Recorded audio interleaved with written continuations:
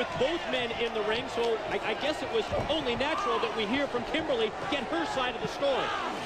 The rumors running amok that Buff Bagwell. Oh! oh! From shoulder.